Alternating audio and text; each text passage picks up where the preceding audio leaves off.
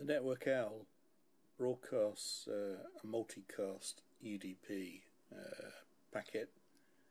Um, so by definition that's not broadcast. You have to know the IP address to uh, receive that and I'll show how that operates in the code walkthrough I'll do later.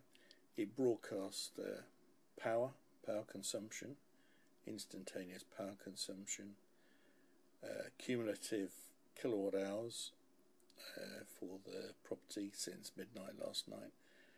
Uh, occasionally it sends um, current temperature at the vicinity and weather conditions and what I've done when it receives that uh, light drizzle text I've matched that to an icon from an SD card which is at the back of the display and uh, display that icon.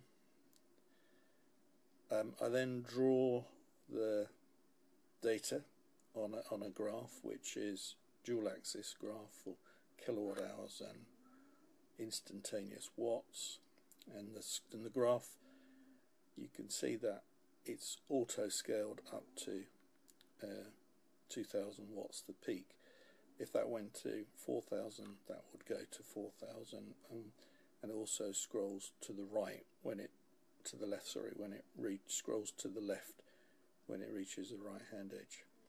That peak will eventually scroll to the left hand edge and where it will auto scale down to about um, 800 watts. And that spike has gone assuming no further power increases greater than um, 2000 or 800 in that example there are received. Um, and for, for good measure I've used the time library just to put the time on the display when the last packet was received. So over here is a packet count, minimum and maximum power, and that's it so that's taking an XML multicast UDP data packet from a network owl.